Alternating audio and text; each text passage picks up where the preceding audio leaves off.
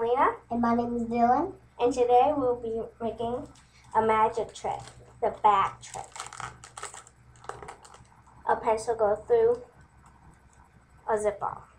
So what you need is some pencil and a bag and water. What you want to do is fill up the water halfway into the bag.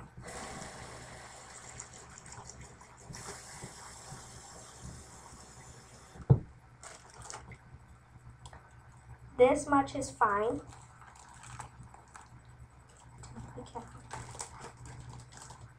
And all you do is take your pencil and then try to poke through it without water leaking. Um, it's sticky. No, not that much.